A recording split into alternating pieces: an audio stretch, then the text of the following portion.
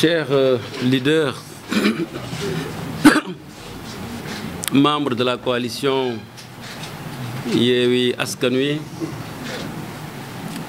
je voudrais, au nom du président de la conférence des leaders Khalifa Babakar Sall, empêché,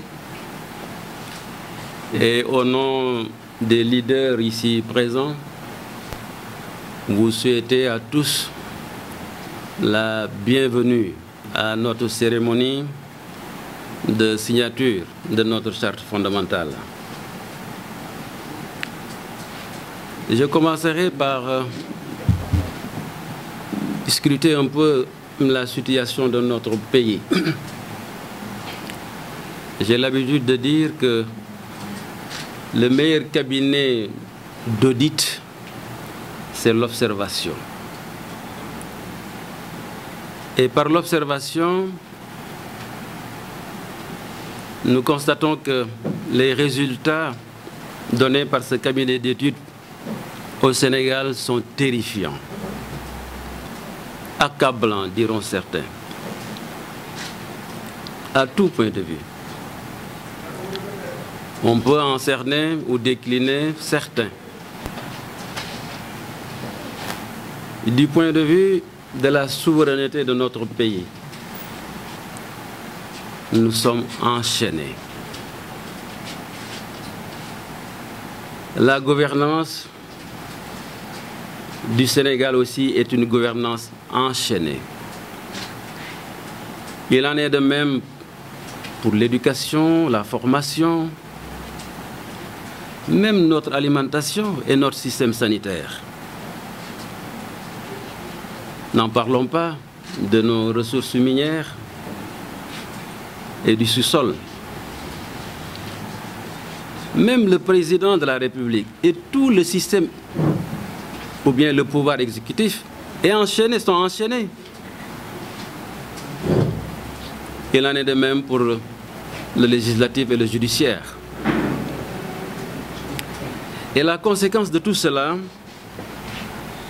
c'est que nous avons un peuple désorienté de l'essentiel, qui est le fondement du progrès et du mieux-être.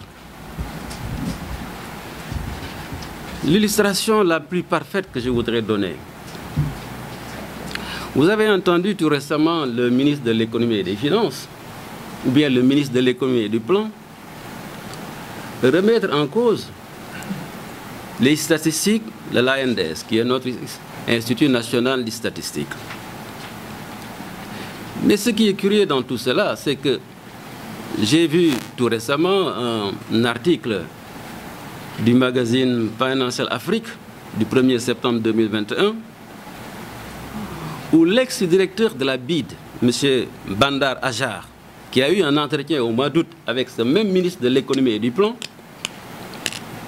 annonçait une aide pour le Sénégal d'un montant de 85 millions de dollars pour la distribution de paniers alimentaires à environ 1 million de familles, soit 8 millions de Sénégalais qui se trouvent en situation d'insécurité alimentaire. Et pourtant, il ne l'a pas démenti, mais il préfère le faire contre un institut de notre pays. Et c'est dans cette situation globale que je vais développer, sous ce ciel sombre, si on peut dire, que des hommes, et les voilà, encore lucides, ont eu la lumineuse idée de concevoir et de mettre sur pied la coalition, politique Yewi Askanui. Je considère que cette coalition a un objectif principal, c'est de briser toutes ces chaînes dont nous venons de parler pour que notre peuple, enfin, tienne son destin entre ses mains. Ceci n'est pas un idéal, c'est là le rêve du domaine du possible. Parce que la coalition qui est ici, ce n'est pas un conglomérat de leaders rêveurs, loin de là. Mais ce sont des hommes politiques responsables qui comprennent ce qu'est la réelle politique. Et ils sont engagés. Mais pour parvenir à cet objectif principal dont j'ai parlé tantôt, il nous faudrait passer par des étapes.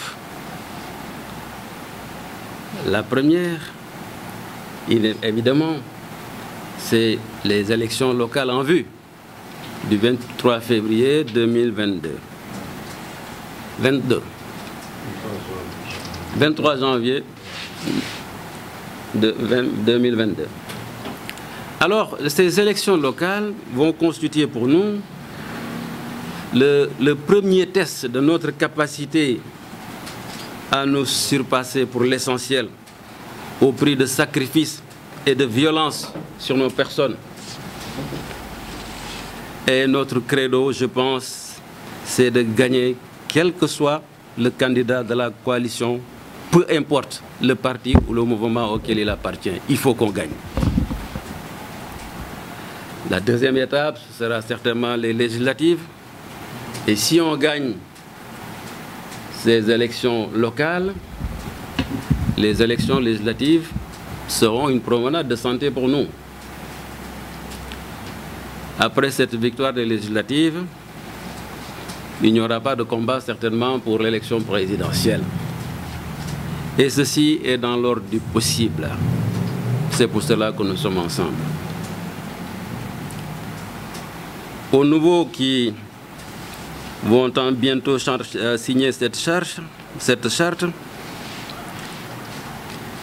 et tout à l'heure vous allez la signer, ce sera un acte d'adhésion à la coalition Yewi Askanui. En le faisant, vous comme nous, vous allez contribuer à l'entretien de la flamme de l'espoir de tout un peuple. Espoir qui le soir du 23 février 2000, 23 février 2022, ah, moi je mets toujours février, pourquoi? Je recule les élections.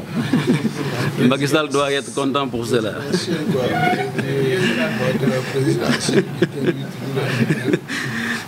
Donc en le faisant, l'espoir que le, soir du 23 janvier 2022, cette date marquera le début du départ de Macky Sall et celui d'une nouvelle ère au Sénégal.